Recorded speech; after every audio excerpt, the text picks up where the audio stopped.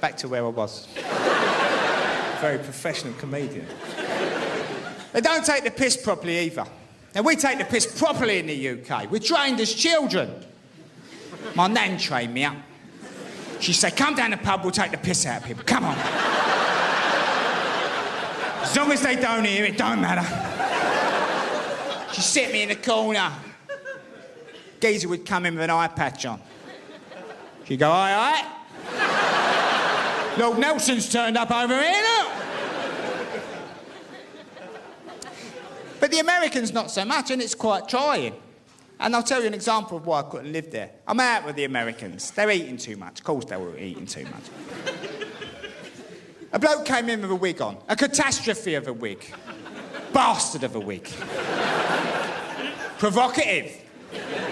The wig is a very provocative garment. It's a bloke saying, I've lost my hair, but I'm not having it. No. I'm going to put this on my head. And I'm going to have a walkabout. And you lot are going to collude in the illusion I've still got a barnet, all right? We're all on board. So he came, the wig came in. The wig came in, hovered in like a, some sort of spaceship with a man underneath it. so I thought, at least we'll have a laugh. So I leant into the Americans. I said, have a look. Have a look at the geezer's wig. have a look. Have a look at the syrup. Nothing.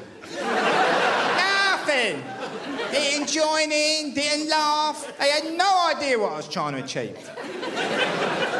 The woman got a bit upset. She said, Oh, how scathing! How scathing! She said, Why are you attacking that man? He's obviously got issues with the lust of his hair, but he's taking positive steps. I said, have a look at his head, love. Is walking about with a bit of old carpet on you, nut? A positive step. I said, I'm going home. I'm going back to the UK where sanity prevails. The bloke walks in looking like that. We all turn around as one and we go, ha ha ha. I'll have a look at him, will ya?